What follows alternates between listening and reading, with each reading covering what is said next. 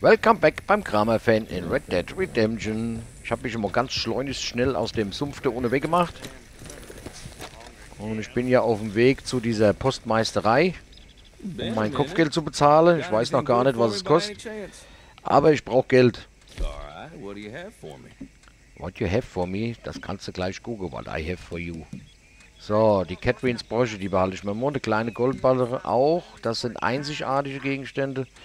Platin Ohrring 3, Ureinwohner, Goldohrstecker, einzigartiger Gegenstand. Ich habe nichts mehr zum Verkaufen. Den Smaragd. Schmuckbeutel habe ich sieben Stück. Macht 350 Dollars. Noch ein Goldnugget, goldener Ehering. Äh, der ist nichts Besonderes. Der geht flöte. Kette mit Silbermedaillon, das ist schon was Besonderes. Das behalte ich mal alles noch einmal zum Bauen eventuell von irgendwelche Amulette. Königin Frauenschuh. Frauenorchidee. Blattloser Widerbart. Tintenfischorchidee. Halt. Das ist noch meine normale Taschenuhr. Das ist dieser besondere Pfeil. Da habe ich noch eine goldene Taschenuhr. Uah, die Reutlinger nicht verkaufen. So dringend brauche ich auch kein Geld. Kaffee nimmt er noch. Was habe ich denn sonst noch im Angebot? Nix. Dosenlachs nimmt er auch. Weg damit. Was hab hier? Kentucky Bourbon. Ne, den trinke ich lieber selbst tatsächlich. Tja, mit meiner ganze... Wo sind denn meine ganze Sammelkarte? Hab irgendwo was doppelt? Die Zigarettebilder.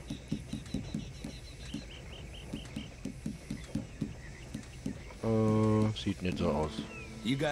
Da habe ich auch noch kein Set vollständig.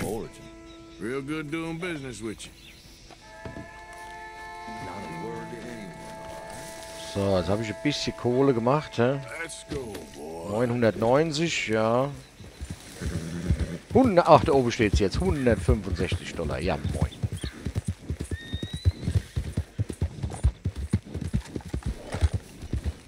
Aber ich mache mich jetzt tatsächlich erst auf ins Waffengeschäft. Hockt der Anna eigentlich immer noch im Keller?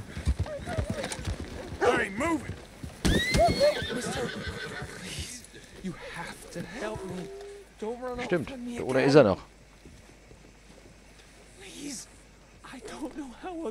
Oh, you're still down there? Yes, I'm still down here because nobody will help me. Will you do something, please? Tja, steht ihm hier gern. Ich kann ihn jetzt ausrauben, okay. Also könnte ich jetzt tatsächlich hier beim Büchsemacher im Geschäft wo meine Waffe ziehe, oder wie?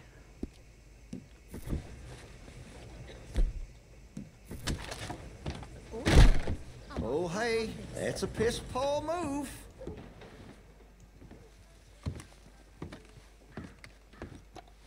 You think I won't shoot you in my shop, huh?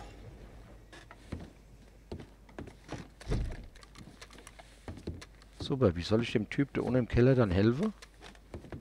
Da geht's raus. Ich kann den da schon wieder nicht bedrohen hier.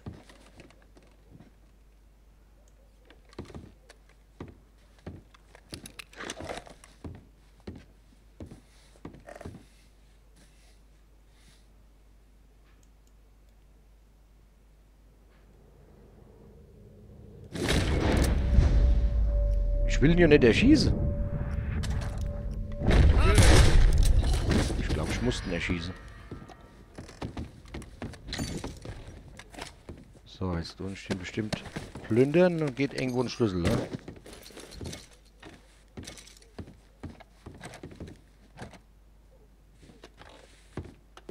Ausrauben, klar. Machen wir auch noch.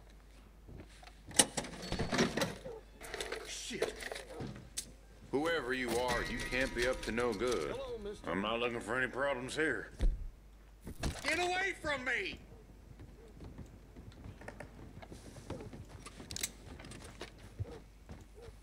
Hier ist gerade geschlossen, Jungs. So, Zeuge Mord. see what we can do.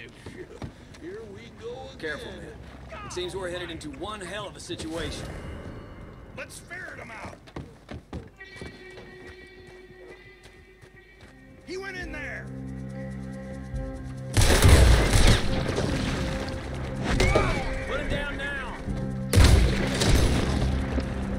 Kann ich denn den Typ da ohne jetzt raushole?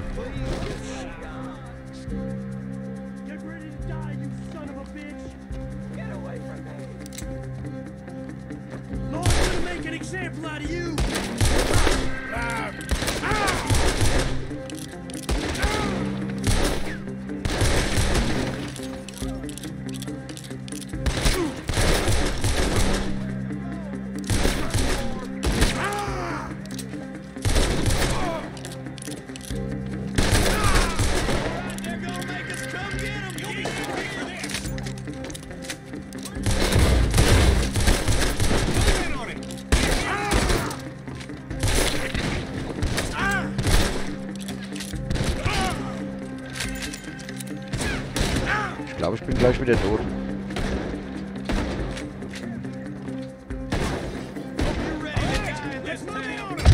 Jo. Wie kriege ich denn den Typ da ohne raus? Die Tür ist zu. Wie soll ich dem dann helfen da ohne drin? Kann mir das mal einer erklären? Ich verstehe es nicht. Jetzt bin ich mal gespannt, was ich jetzt für Kopfgeld am Arsch habe. Und vor allem, wo ich jetzt hier wieder wach werde. 70 Dollar, ja moin. 275 Dollar Kopfgeld. So, ich glaube, ich gehe jetzt erstmal ganz schnell auf die Post.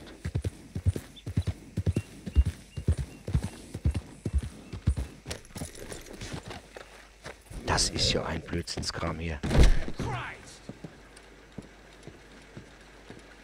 I thought I recognized you. Hello again. Oh my, you Boah. bad person. Are you well? Thanks. Too sober to smile. So, jetzt habe ich mein Kopfgeld bezahlt. Jetzt bin ich wieder ein freier Mensch überall. Jetzt würde ich gerne mal zu diesem Büchsemacher gehen. Ist der Anna immer noch im Keller? Das ist die erste Frage, die mich interessiert. Und die zweite...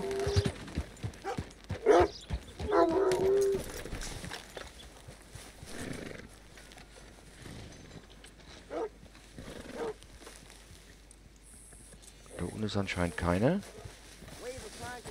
So, jetzt bin ich tatsächlich mal gespannt, wie der Büchsemacher aussieht. Bis zum Morgen warten. Der hört schon zu. Okay. Sind wir schon so spät? Nee. Der ist noch geschlossen wie Überfall anscheinend. Nee, von 6 bis um 12. 6 am bis 12 am. Bis zum Morgen warten? Nee. Hat er nur bis mittags um 12 Uhr? Das war komisch. Okay, boy. Let's go. Tja. Komisch. Jetzt wollte ich dem Jungen da unten im Keller helfen. Hat man noch mal 165, 275, hat man noch mal 110 Dollar Kopfgeld mehr eingebracht. Gestorben bin ich wieder bei der ganzen Nummer. Aber kein Plan, wie ich dem da ohne raushelfen sollte.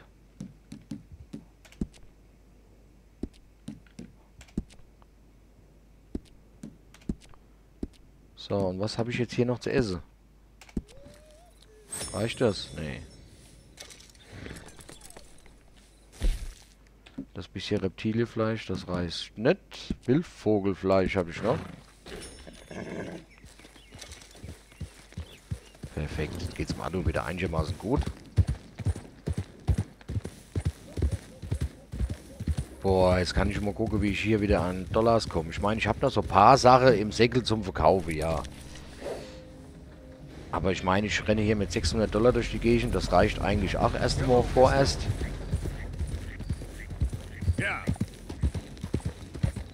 So, und was gibt es hier eigentlich noch zum Anstelle, Antreibe? Ähm... Legendäre Fische. Ja, das hatte, mir ja, hatte ich ja schon geguckt, das ist Quatsch. Saurierknorre. Kriege ich nicht angezeigt. Ähm, exotische Gegenstände. Seidenreihe, Rödelreihe und 15 Damen der Nacht. Ich denke mal, das sind auch irgendwelche Orchideen. Dann habe ich noch diese Kunstausstellung. Kardinalskadaver, Rattenkadaver, Spechtkadaver. Pah, keine Ahnung, wie ich da drankommen soll. Dutch will eine Pfeife. Hosea liest gern Krimis. Besorge ihm einen. Raubüberfall. Büchsenmacher in St. Denis. Ja, das hat ja eben auch schon mal geklappt mit dem anderen.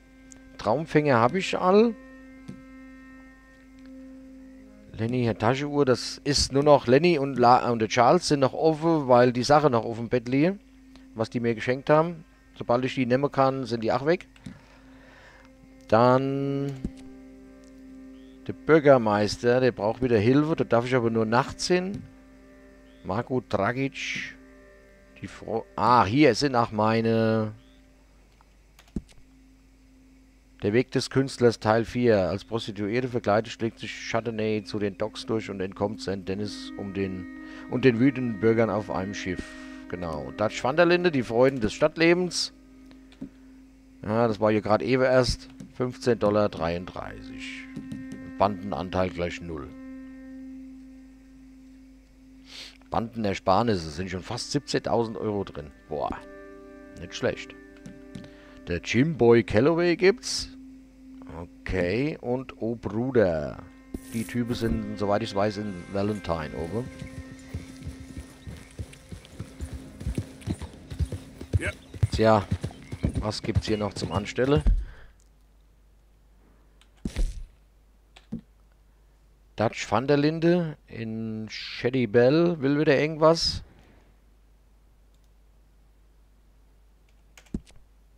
Äh. Krieg ich kein Bild angezeigt. Der fliegende Adler gibt's und der Jimboy Calloway. Fliegende Adler. Der ist in der Nähe von The Hurtland Oil Fields. Das wäre ja auch mal so eine Idee.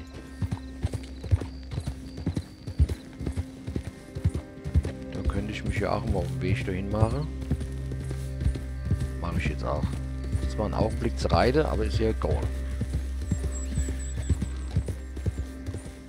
So, dann gucke ich nochmal nach meinem Ginseng. Ich habe nämlich vorhin offline ein bisschen was verkocht oder gebraucht, um ein Arznei und Kram herzustellen. Deswegen bin ich immer wieder froh, wenn ich mir mal nochmal eine sammeln kann, weil die gibt es tatsächlich nicht so oft. Thymian, Oregano, Ackerminze, Indianertabak, das gibt es hier überall wie Sand am Meer. Aber Ginseng immer ganz schlecht.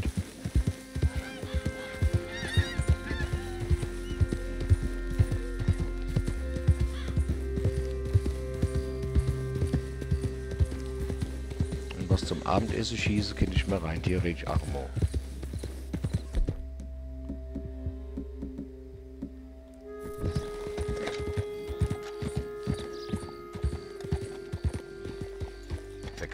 Hin? Wer ist denn das? Ja. Huch, das ist aber manchmal ein hageliger Kram hier. This camp ain't open to strangers. I want you out my sight. Okay, bevor es nächste Kopfgeld gibt, hau ich lieber ab. Aber trotzdem brauche ich noch was zum Abendessen.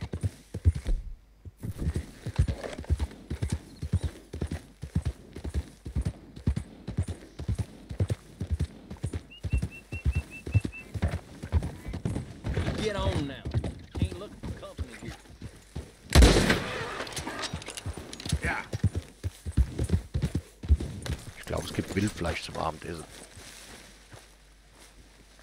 Ja, nicht schön, aber getroffen.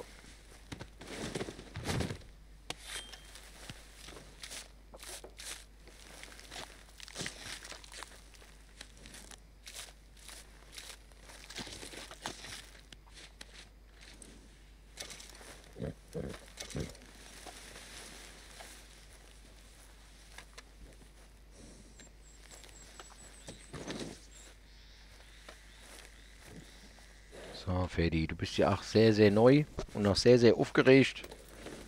Yeah, I'll stay there, boy. It's all right, boy. kriege ich nochmal was zu fressen hier. Möhre müsste ich eigentlich auch noch haben.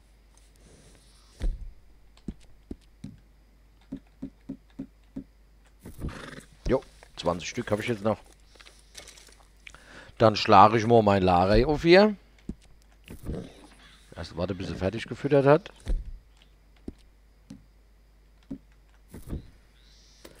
Schlage ich mal mein Lager auf und verabschiede mich von euch. Vielen Dank fürs Zusehen. Macht's gut. Bis zum nächsten Mal. Tschüss. tschüss.